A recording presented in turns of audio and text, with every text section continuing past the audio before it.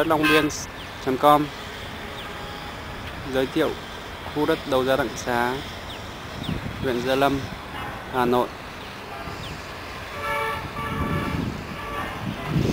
Đây là vị trí lô đất đang được san lấp mặt bằng.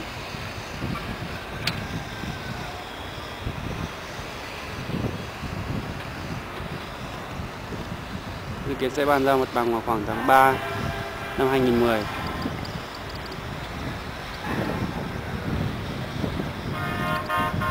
Phía xa xa kia là nhà thi đấu Gia Lâm. Huyện Gia Lâm.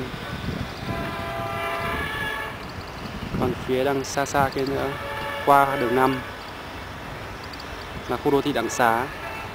Còn đây là khu đất đấu giá Đặng Xá huyện Gia Lâm. Quý khách hàng có nhu cầu đăng ký bán, đăng ký mua khu đất đấu giá Đặng Xá